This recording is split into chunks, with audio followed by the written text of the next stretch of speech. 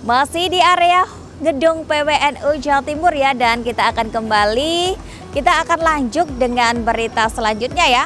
Pasar Turi baru resmi dibuka hari ini dan itu sudah dibuka Senin lalu ya pemirsa tepatnya yakni tanggal 21 Maret 2022.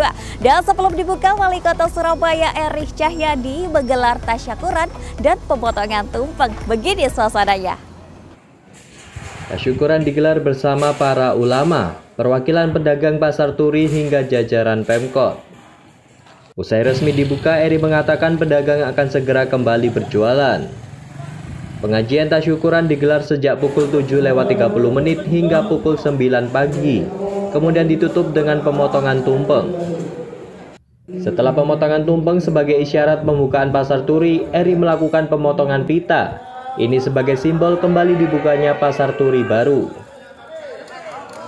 Hari ini tanggal Senin ini adalah teman-teman untuk masuk ke pasar turi. Saya berharap betul kepada semua saudara-saudara saya bahwa ini adalah momentum kita bangkit. Sesuatu yang baik maka diawali yang baik.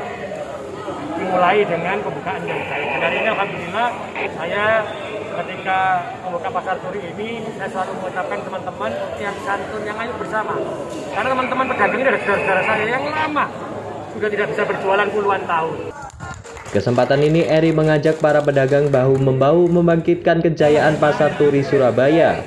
Wakapol Restabes Surabaya AKBP Hartoyo mengatakan pihaknya mengerahkan 400 personel yang membantu proses relokasi.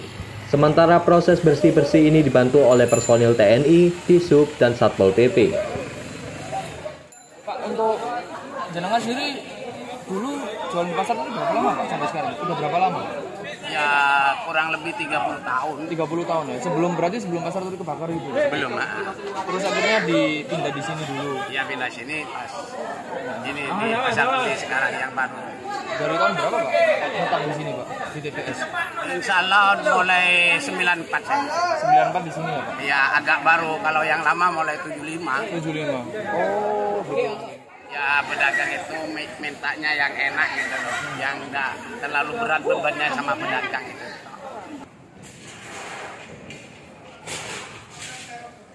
Pemirsa, berbagai rangkuman berita dalam sepekan ini sudah kita bahas ya, oke?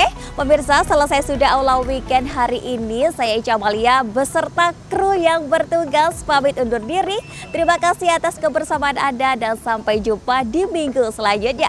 Saya Ica Amalia dan segenap kru bertugas pamit undur diri. Wassalamualaikum warahmatullahi wabarakatuh.